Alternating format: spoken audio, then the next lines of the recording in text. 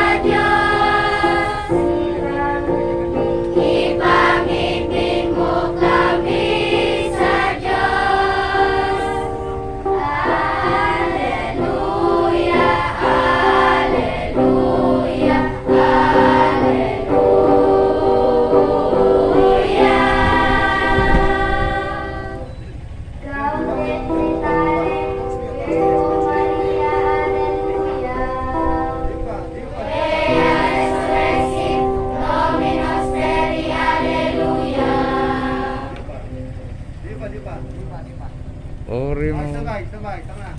Mamibig kita. O Diyos, uli sa pagkabuhay liwating sa imong aki, sa Yesu Kristo, nagwaras kaning kaugman sa bilog na kinaban. Kapag kaniguan na uli sa tabang ni Virgen Maria, magkaligo kami, mag-ako kang kaugman na katapusan sa ngaran ni Kristo na sa mong kagurangan.